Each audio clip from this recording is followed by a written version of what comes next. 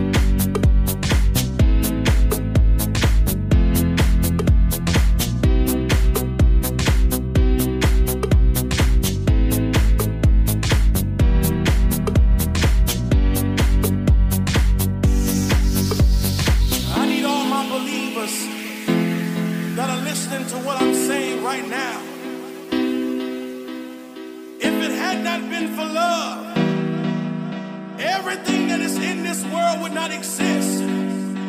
We need to understand right now that because of love, things happen in a way where people just don't seem to understand.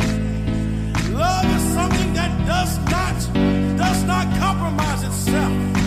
Love is something that will sacrifice for everything that goes on.